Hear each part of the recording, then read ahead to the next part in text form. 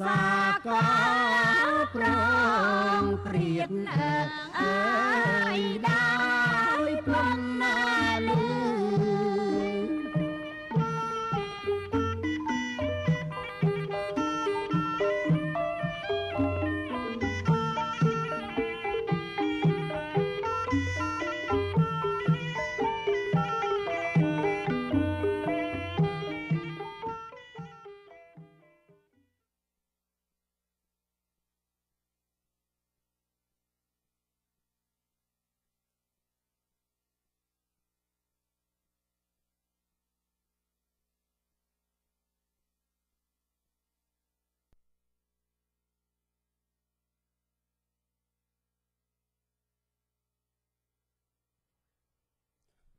បាទជំរាបសួរ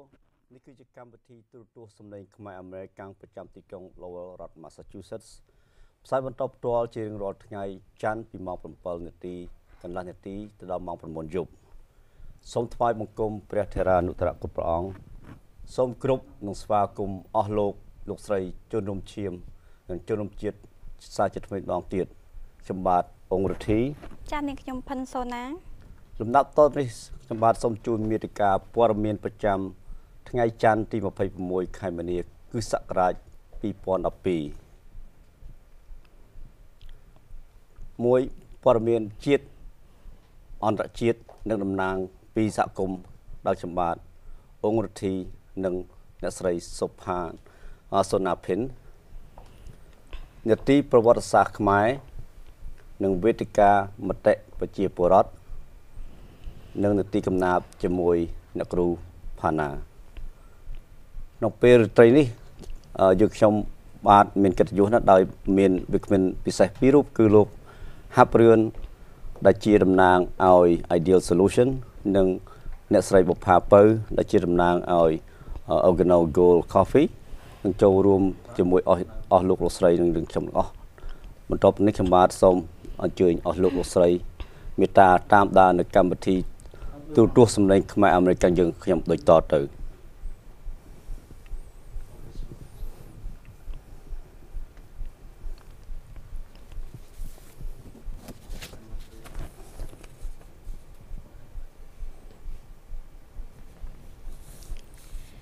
ចា៎នាងខ្ញុំបានលើកយកព័ត៌មានដើម្បីយកមកជម្រាបជូនដល់អស់លោកលោកស្រី ចាអូស្ត្រាលីរកឃើញបណ្ដាញរថពន្ធគ្រឿងញៀនពាក់ព័ន្ធនឹងមេដឹកនាំនៅអាស៊ី កាសែតអូស្ត្រាលី The Sydney Morning Herald និង The Age បានផ្សាយព័ត៌មានអំពីការស៊ើបអង្កេតរបស់អាជ្ញាធរមានសមត្ថកិច្ចអូស្ត្រាលីតាមរយៈកិច្ចយកការសម្ងាត់ដែលរកឃើញថាបណ្ដាញរថពន្ធគ្រឿងញៀននិងលាងលុយសុខភាពសុំទោសសូមអភ័យទោស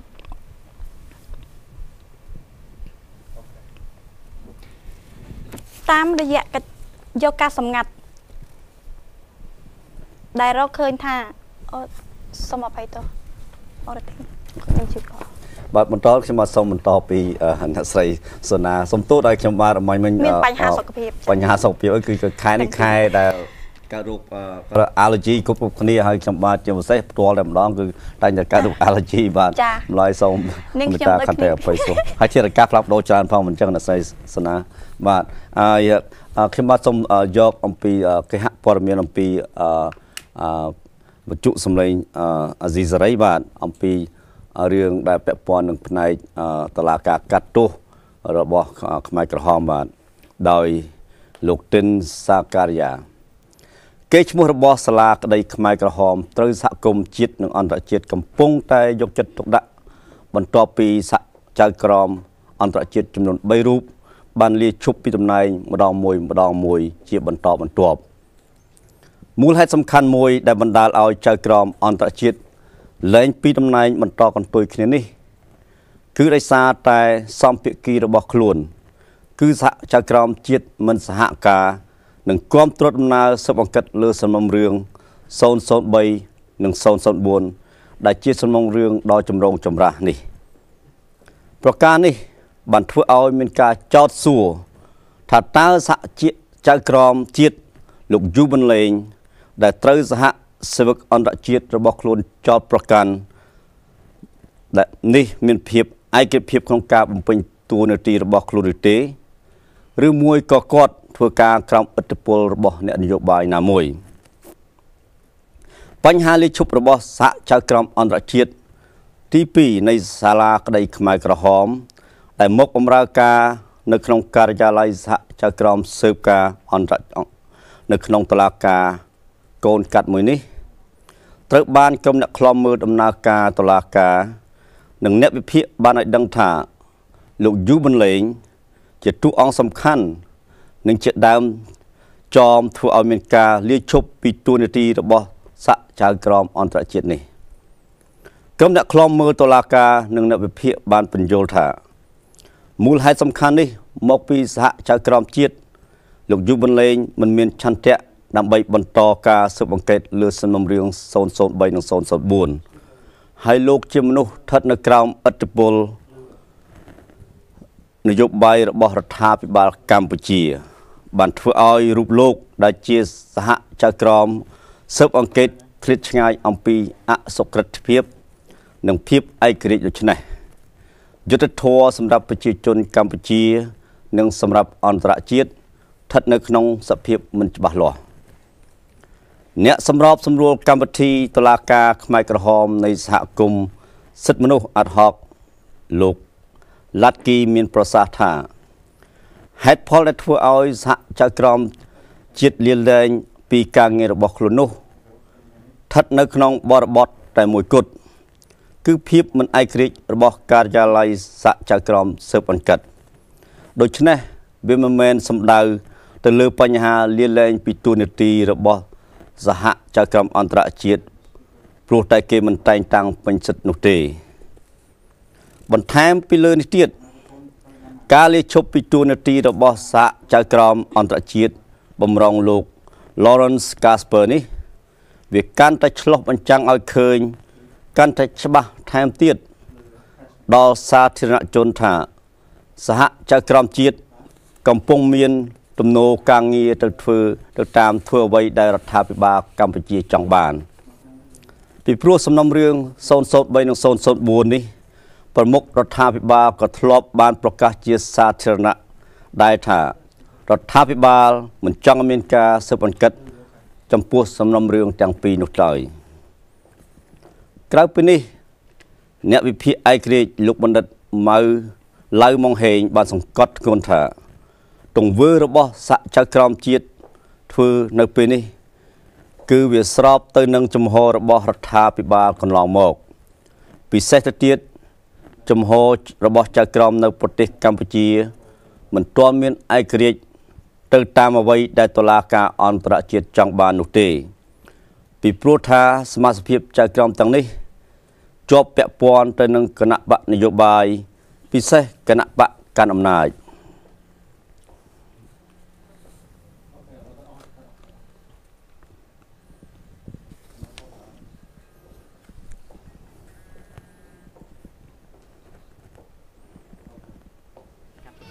ដល់ ទូរទស្សនិកជនដែលបានគ្រប់គ្រងនិងតាមដានទស្សនាកម្មវិធីយើងខ្ញុំជារៀងរាល់ថ្ងៃច័ន្ទពីម៉ោង7:30នាទីដល់ម៉ោង9យប់តាមប៉ុស្តិ៍ទូរទស្សន៍លេខ8ជាពិសេសទូរទស្សន៍សម្លេងខ្មែរអាមេរិកាំងហៅខ្លីថា Voca សូមថ្លែងអំណរអគុណយ៉ាងជ្រាលជ្រៅដល់អស់លោកលោកស្រីដែលបានជួយឧបត្ថម្ភ Voca យើងខ្ញុំគ្រប់វិស័យទាំងផ្នែកសម្ភារៈនិងថវិកា តាំងតែពីដើមរហូតមកដល់ពេលនេះដូចមានរៀលនេះរាយនាមនៅក្នុងវីដេអូនេះស្រាប់ហើយបើអស់លោកចង់ទស្សនាកម្មវិធីដដែលដដែលម្ដងទៀតជាភាសាអង់គ្លេសថា rerun shows សូមបើកទូរទស្សន៍ប៉ុស្តិ៍លេខ95រៀងរាល់ថ្ងៃអាទិត្យវេលាម៉ោង7ទៅម៉ោង8យប់ឬក៏ចូលទៅក្នុង website របស់ Voca ដែលមានអាសយដ្ឋានដូចតទៅ គឺ www.vocatv2010.blogspot.com ពេលនោះអស់លោកនឹងឃើញកម្មវិធីពីមុនពីមុននិងព័ត៌មានបន្ថែមផ្សេងផ្សេងទៀតដូចជាឈ្មោះបុគ្គលិកស្ម័គ្រចិត្តនិងជាពិសេសគឺនិន្នាការរបស់ Voca ជាភាសាអង់គ្លេសថា tendency course of actions and thoughts philosophy or mission statements តែបើអស់លោកចង់តាក់ទងផ្ទាល់ជាមួយនឹងចាងវាងផលិតកម្មគឺលោករទ្ធីអង្គនិងអ្នកគ្រូវិយាដា គឺខ្ញុំផ្ទាល់សូមទូរស័ព្ទលេខ978 7261990ឬក៏លេខ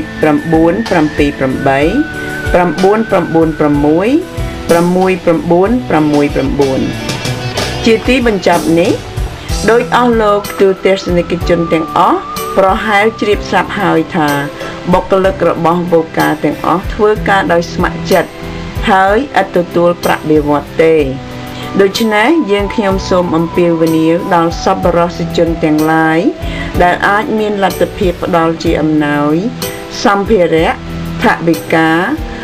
លើកស្ទួយផ្លូវចិត្តឬក៏ឧបត្ថម្ភជាយោបល់តាមការគួរ ហើយបើយើងខ្ញុំមានភាពឆ្គាំឆ្គងដោយប្រការណា ឬដោយអចេតនាសូមមេត្តាខន្តីអភ័យទោសសូមបងប្អូនទាំងអស់បានប្រកបតែសេចក្តីសុខគ្រប់ប្រការ គឺអាយុវណ្ណៈសុខៈពលៈនិងបដិភិនៈកំបីគ្លៀងគ្លាតឡើយសូមអរគុណ Voice of Khmer Americans would like to express our sincere appreciation to all of our television viewers, supporters, and all of our sponsors in this video who have been continuously supporting us in all areas to keep Boca and the spirit of volunteerism staying alive. In addition, we would like to also welcome any constructive criticism that you may have. However, the views or actions of the individuals, hosts, or guest speakers do not necessarily represent the views or the philosophy of Boca as a whole. For more information, please contact our producers, Mr. T. Ung, at 978-996-6969 or Ms. Biada Hongtip, uh, it's me, at 978-726-1990 from 9 a.m. to 5 p.m. daily or you can always check our website at www vocatv2010.blogspot.com. Please continue to tune in to Voca TV Channel 8 every Monday at 7.30 to 9 p.m. or Voca TV Channel 95 every Sunday at 7 to 8 p.m. for the rerun shows. We would also like to express our appreciation for the opportunity of using the television studios which is provided by the LTC, Lowell Telecommunications Corporation. Thank you.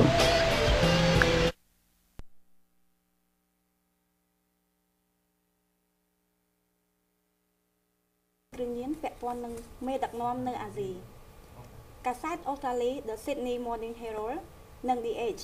បានផ្សាយព័ត៌មានអំពីការស៊ើបអង្កេត របស់អាជ្ញាធរមានសមត្ថសមត្ថកិច្ចអូស្ត្រាលី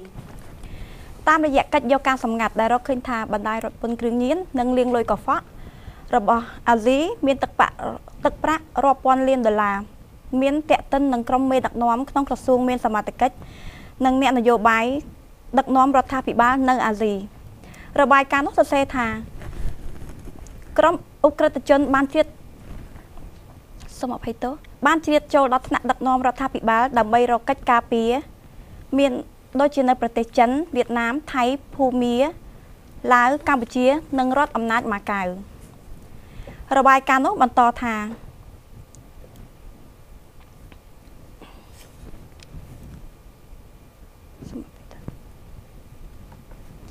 របាយការណ៍នោះ បានសរសេរបន្តទៀតថាក្រុមអ ுக ្រិតជនបានជ្រៀតចូលដល់ថ្នាក់ដឹកនាំរដ្ឋាភិបាលដើម្បីរកកិច្ចការពារអឺមានដូចជានៅប្រទេសចិនវៀតណាមថៃភូមាឡាវកម្ពុជា និងរដ្ឋអំណាចម៉ាកាវរបាយការណ៍នោះបានបន្តទៀតថាសមាជិកអ ுக ្រិតជនមួយរូបដែលបានចូលរួមប្រជុំសន្និសីទនៃភ្នាក់ងារប៉ូលីសអន្តរជាតិហៅថា Interpol នៅបូរេនញូវយ៉ក រដ្ឋាភិបាលអូស្ត្រាលីបានចំណាយថវិកាប្រមាណជិតជា10លានដុល្លារផ្ទេរចេញទៅក្រៅដើម្បីចង់រកមុខមេដឹកនាំដែលនៅពីក្រៅខ្នងអំពើអ ுக ្រិតទាំងនោះអាញាធរអូស្ត្រាលីបានដាក់ឈ្មោះបណ្ដាញអ ுக ្រិតកម្មនោះថាជាសហជីពជីតាបណ្ដាញនេះបញ្ជូនឬបញ្ចេញបញ្ចូលសូមអភ័យទោសតាមរយៈបនលបែងកាស៊ីណូសន្តាគារ មណ្ឌលទេសចរក្រុមហ៊ុនសំណង់ក្រុមហ៊ុនទិញលក់អចលនទ្រព្យមានផ្ទះសម្បែងនិងដីធ្លីនៅហុងកុងនិងវៀតណាមអឺសូមអញ្ជើញលោកលោកស្រីជួបជាមួយនឹងលោករដ្ឋាជាបន្តចា៎លោកសួនសុផលមនីបានសរសេរអត្ថបទនៅក្នុងគេហទំព័ររបស់វិទ្យុអាស៊ីសេរីបានឲ្យដឹងថា នៅពេលរាល់ តែអំពីបកប្រឆាំងចោតមន្ត្រីរដ្ឋាភិបាលថាប្រើល្បិចកេងចំណេញខាងផ្នែកនយោបាយនៅរាល់ពេលរដូវបោះឆ្នោតចិត្តចូលមកដល់ម្ដងម្ដង គេសង្កេតឃើញថា មន្ត្រីគណៈបកនយោបាយនៅកម្ពុជា បានខិតខំប្រឹងប្រែងឃោសនាដើម្បីរកសម្លេងគាំទ្រពីប្រជាជន ដែលជាម្ចាស់ឆ្នោត ជាពិសេសមន្ត្រីរបស់គណៈបកប្រជាជនកម្ពុជាដែលកំពុងកាន់អំណាច មន្ត្រីគណៈបកប្រឆាំងបានចោទថាមន្ត្រីជាន់ខ្ពស់របស់គណៈបកប្រជាជនកម្ពុជា ដែលមានតំណែងធំធំនៅក្នុងជួររាជរដ្ឋាភិបាលជាច្រើនអ្នកកំពុងប្រើល្បិចកេងចំណេញខាងផ្នែកនយោបាយមន្ត្រីគណៈបកប្រឆាំងបានបង្ហាញថា ការកេងចំណេញនោះធ្វើឡើងតាមរយៈការប្រើប្រាស់សមិទ្ធផលជាតិទៅឃោសនាស្វែងរកសម្លេងគ្រប់គ្រងគណៈបករបស់ខ្លួន នៅពេលដែលការបោះឆ្នោតជ្រើសរើសក្រុមប្រឹក្សាឃុំសង្កាត់ចិត្តចូលមកដល់នាខែមិថុនាខាងមុខនេះលោកមានសរិទ្ធសមាជិកក្រុមប្រឹក្សាក្រុងប៉ោយប៉ែតរបស់គណៈបកសាំងម៉ងស៊ីបានថ្លែងថាចាប់តាំងពីថ្ងៃទី10រហូតមកដល់ថ្ងៃទី15ខែមីនាឆ្នាំ2012នេះនៅខេត្តបន្ទាយមានជ័យមានមន្ត្រីជាន់ខ្ពស់របស់គណៈបកប្រជាជនកម្ពុជាជាច្រើនអ្នក បានចុះសម្ពោធសមិទ្ធផលជាតិជាច្រើន កន្លែងនៅក្នុងខេត្តបន្ទាយមានជ័យពួកគេបានឈាតឱកាសឃោសនារកសម្លេងគ្រប់គ្រងពីអ្នកបោះឆ្នោតលោកថាកាលពីថ្ងៃទី10ខែមីនាលោកអ៊ុងអឿនអភិបាលខេត្តបន្ទាយមានជ័យបានចុះទៅសម្ពោធឆ្លងវិហារវត្តសុរិយារោមសុរិយារាមហៅវត្តថ្មី នៅថ្ងៃទី12ខែមីនាលោកសូខុន រដ្ឋមន្ត្រីក្រសួងប្រៃសណីនិងទូរទស្សនីយគមបានចុះបើកបន្ទីពិធីបញ្ចុះបឋមសិក្សាសាលាបើកការដ្ឋាន សាងសង់ការិយាល័យប្រៃសណីនិងទូរទស្សគមនាគមន៍ក្រុងប៉ោយប៉ែតនៅថ្ងៃទី13ខែមីនាលោកម៉ប៊ុនហេងរដ្ឋមន្ត្រីក្រសួងសុខាភិបាល បានចុះទៅសម្ពោធដាក់ឲ្យប្រើប្រាស់ជាផ្លូវការនៅសំណង់អគារថ្មីនៃមន្ទីរពេទ្យបង្អែកក្រុងប៉ោយប៉ែត នៅនៅថ្ងៃទី15ខែមីនានេះលោកយឹមឆៃលី ជាឧបនាយករដ្ឋមន្ត្រី និងជាប្រធានក្រុមប្រឹក្សាអភិវឌ្ឍវិស័យកសិកម្មនិងជនបទបានចុះទៅសម្ពោធដាក់ឲ្យប្រើប្រាស់ជាផ្លូវជាផ្លូវការសាលាធម្មសភា និងសមិទ្ធផលនានា ក្នុងវត្តរស្មីរតនារាមហៅវត្តអូនាងក្នុងខេត្តបន្ទាយមានជ័យមន្ត្រីគណៈបកសំរងស៊ីបានលើកឡើងថា រាល់ការចុះទៅសម្ពោធសមិទ្ធផលទាំងនេះ មន្ត្រីគណៈបកប្រជាជនបានឃោសនាសមិទ្ធផលទាំងនោះ គឺជាសមិទ្ធផលរបស់គណៈបកប្រជាជនកម្ពុជារដូវឃោសនានាថ្ងៃទី18ខែឧសភាឆ្នាំ2012រហូតដល់ថ្ងៃទី1រយៈពេលកន្លះខែ គឺគេឃោសនាបោះឆ្នោតជ្រើសរើសក្រុមប្រឹក្សាឃុំសង្កាត់អាណត្តិទី3នៅសល់ពេលជាង2ខែទៀត ប៉ុន្តែគាត់យកវិធីការដែលជាមិនមែនជារដូវឃោសនាយកមកឃោសនាបំរើគណៈបកប្រជាជនទៅវិញលោកអឹងអឿនអភិបាលខេត្តបន្ទាយមានជ័យនិងជាមន្ត្រីរបស់គណៈបកប្រជាជនកម្ពុជា បានមានប្រតិកម្មថារាល់សមិទ្ធផលដែលបានដាក់សម្ពោធឲ្យប្រើប្រាស់ជាផ្លូវការទាំងនោះ ជាសមិទ្ធផលរួមបំរើឲ្យសាធារណជនប៉ុន្តែអ្នកដែលចូលរួមកសាងនោះ គឺភាគច្រើនជាមន្ត្រីរបស់គណៈគណៈបកប្រជាជនកម្ពុជាលោកអង្អឿនស្នើសុំកុំឲ្យគណៈបកប្រឆាំងមានការចំណែនជាមួយគណៈបកប្រជាជនកម្ពុជាលោកបានបន្ថែមទៀតថា មានសមិទ្ធផលធំធំជាច្រើន ជាស្នាដៃរបស់គណៈបកប្រជាជនកម្ពុជាជាក់ស្ដែងដូចជាសកលវិទ្យាល័យនៅខេត្តបន្ទាយមានជ័យសមាជិកគណៈបកប្រជាជនកម្ពុជាបានប្រើប្រាស់ថវិកាផ្ទាល់ខ្លួន ចំណាយអស់រហូតទៅដល់ជាង5លានដុល្លារដើម្បីសាងសង់វិទ្យាល័យនោះ ហើយគណៈមន្ត្រីគណៈបកប្រឆាំងមិនបានចូលរួមទេលោកគីកំសែងជាប្រធានគណៈបក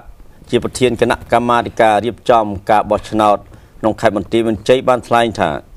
ការចោទប្រកាន់របស់មន្ត្រីគណៈបកប្រឆាំងទៅលើមន្ត្រីគណៈបកប្រជាជនកម្ពុជា គឺរឿងឃោសនារកសម្លេងគាំទ្រ ពីអ្នកបោះឆ្នោតនៅពេលនោះខាងមន្ត្រីរៀបចំបោះឆ្នោតនៅមិនទាន់អាចមានសិទ្ធិដោះស្រាយឬហាមឃាត់បានទេ លោកថាការងារទប់ស្ងាត់កុំឲ្យមានមន្ត្រីគណៈបកនយោបាយជាតិឱកាសឃោសនារោគសម្លេងគាំទ្រពេលនេះ ជាទូនាទីរបស់អាជ្ញាធរនៅតាមមូលដ្ឋានលោកគុលគុលបញ្ញាគុលបញ្ញានាយកប្រតិបត្តិការ អង្គការឃ្លាំមើលដំណើរការបោះឆ្នោតដោយសេរីនិងយុត្តិធម៌នៅកម្ពុជាហៅកាត់ថា Comprel មានប្រសាសន៍ថាមន្ត្រីគណៈបកនយោបាយអាចចុះធ្វើនយោបាយបានប៉ុន្តែมันអាចយកសមិទ្ធផលរបស់